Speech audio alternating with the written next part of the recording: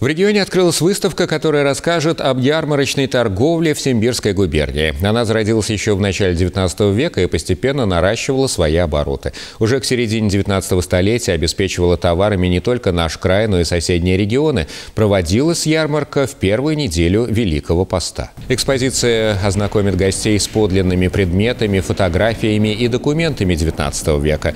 Несколько разделов выставки расскажут о зарождении сборной ярмарки.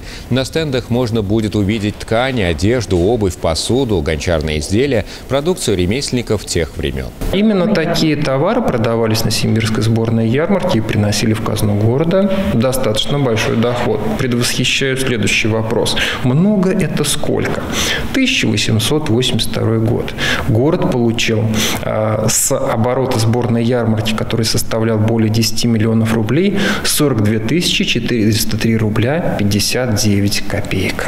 Ознакомиться поближе с исторической ценностью ульяновцы смогут до 15 февраля в музее «Симбирское купечество».